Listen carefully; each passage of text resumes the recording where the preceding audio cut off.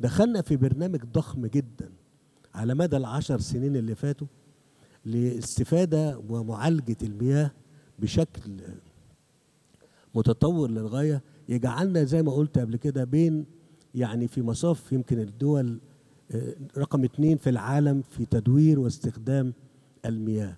إحنا أنفقنا في هذا الأمر أرقام هائلة عشان يبقى عندنا محطات معالجة ثلاثية متطورة على مستوى دولة بتستخدم ميه ل 106 مليون إنسان. مش بس في في الشرب والكده لا ده حتى في الصرف الزراعي. إحنا عملنا الكلام ده لمعالجة مياه الصرف الزراعي لإعادة استخدامها مرة واثنين وثلاثة.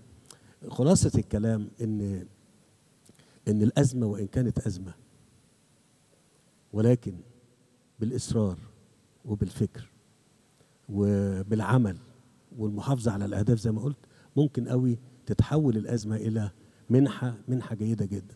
آخر حاجة أتكلم عليها هي موضوع ال- الأزمة الاقتصادية ومسار الإصلاح الاقتصادي. وإحنا أيضا في هذا في هذا الأمر آه، عملنا يعني برنامجين برنامج في 2016 وده نجحنا فيه.